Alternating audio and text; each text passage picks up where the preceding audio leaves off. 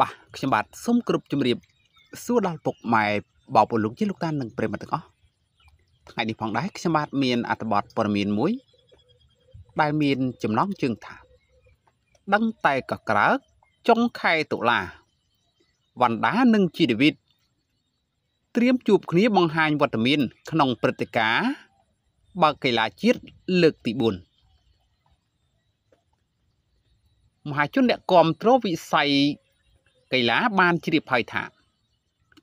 ក្រសួងអប់រំបានត្រៀមរៀបចំ ពិធីបើកជាផ្លូវការនៃព្រឹត្តិការណ៍កីឡាជាតិលើកទី4និងកីឡាជាតិជនពិការលើកទី2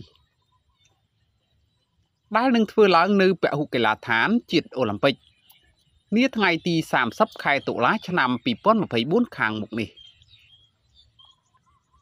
ថ្មីថ្មីនេះដែរ អ្វីដែលធ្វើឲ្យមហាជនលើបណ្ដាញសង្គម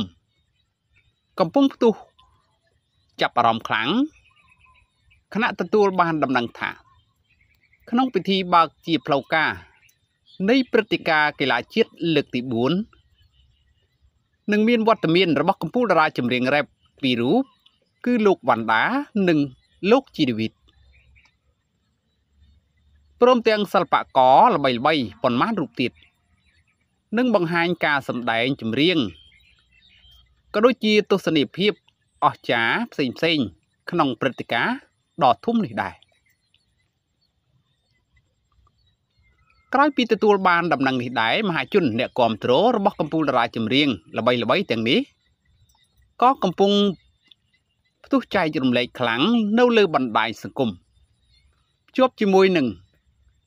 ចិត្តរំភើបចំពោះវត្តមានដ៏កម្រ របស់កម្ពុជាតារាចម្រៀងល្បីៗក្នុងព្រឹត្តិការណ៍តែមួយនេះផងដែរបាទហើយអត្ថបទព័ត៌មានដែលខ្ញុំបានជម្រាបជូនខាងលើនេះក៏មានតែប៉ុណ្ណឹងសូមអរគុណសូមជម្រាបលា